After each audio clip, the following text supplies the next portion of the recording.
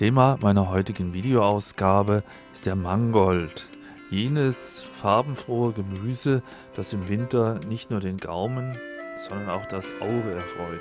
Die Blätter sind grün oder rot und in der grünen Variante kann die Farbe der Stiele von weiß über gelb bis hin zum tiefen Rot reichen.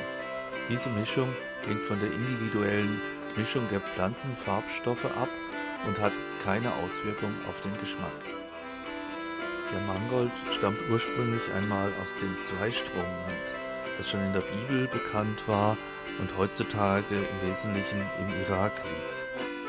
Über den mediterranen Raum ist es bereits im 13. Jahrhundert zu uns nach Mitteleuropa gekommen und hier heimisch geworden. Die Pflanze ist mit der roten Beete und der Zuckerrübe verwandt und überhaupt nicht kälteempfindlich. Hier im Video sieht man, wie es aussieht, wenn es bei minus 6 Grad mal ordentlich eingefroren hat und gerade mal zwei Tage später bei plus 3 Grad stehen die Blätter da, als wäre nie etwas gewesen. Mangold ist ein ausgesprochen gesundes Gemüse. Es enthält eine ganze Reihe an wichtigen Mineralien, allen voran das Kalium, aber auch Eisen ist in ausreichender Menge vorhanden.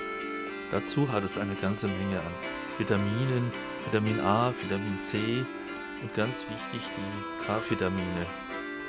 Zum Rohessen ist Mangold nicht so gut geeignet. Mangold enthält viel Oxalsäure. Bei Leuten, die dafür empfindlich sind, kann es zur Bildung von Nierensteinen beitragen. Die sollten das Gemüse besser kochen. Das würde ich aber selber auch generell empfehlen.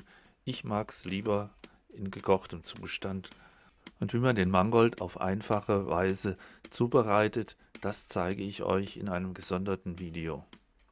Zum Schluss noch ein Wort zur Aussaat. Ich sähe den Mangold erst im Sommer aus.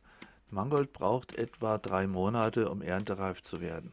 Da es bei uns aber, wie bereits erwähnt, sehr trocken ist und sehr heiß ist, entwickelt er sich da zunächst mal nicht so gut. Aber wenn dann hinterher der Regen wieder einsetzt im Herbst, dann gedeiht er ganz prächtig und bis zum Spätherbst und Winteranfang ist er wirklich fertig und erntebereit. Und genau dann ist ja die Jahreszeit, wo wir uns mit Vitaminen versorgen müssen. Aber nicht nur die Blätter sind essbar, auch die Wurzeln kann man gut verzehren. Die sollte man aber erst ernten, wenn die Erntezeit für die Blätter vorüber ist. Was man dann mit den Wurzeln anstellen kann, zeige ich euch dann später im Frühjahr.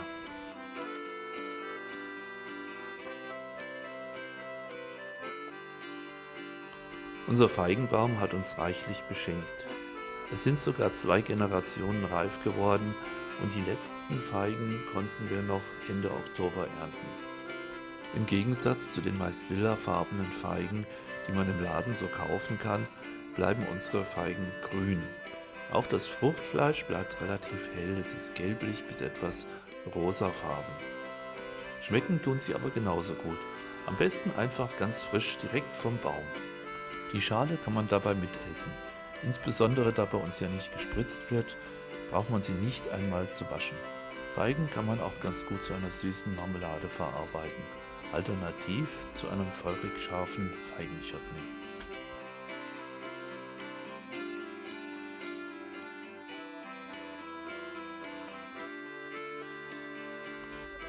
Fast ganz oben in unserem Garten steht mittendrin in der prallen Sonne ein kräftiger Quittenbaum. Leider mochte er uns in diesem Jahr nicht mit einer großen Ernte beglücken. Aber ein paar Früchte waren dennoch dran und die sind eigentlich ganz schön geworden. Ich wollte sie ja noch ein bisschen hängen lassen, allerdings hat uns der Wind in den letzten Tagen die Entscheidung abgenommen und die meisten von den Früchten runtergeschüttelt. Jetzt müssen wir sie natürlich auflesen. Quitten sind auch im reifen Zustand sehr hart und lassen sich dementsprechend nicht ganz so gut verarbeiten. Am einfachsten macht man einfach Gelee daraus. Da es bei uns in diesem Jahr aber nicht so viele Quitten gab, haben wir uns für die Variante Apfel-Quittenmarmelade entschieden. Die passt ausgezeichnet zu Pfannkuchen. Das war es erstmal für heute. Vergesst nicht, euch das Video mit dem Kochen anzusehen und natürlich den Kanal zu abonnieren und vielleicht auch auf die Homepage zu schauen. Die ist im Übrigen in den Kommentaren unten verlinkt und dort gibt es immer noch weitere Informationen in schriftlicher Natur. Vielen Dank und bis zum nächsten Mal.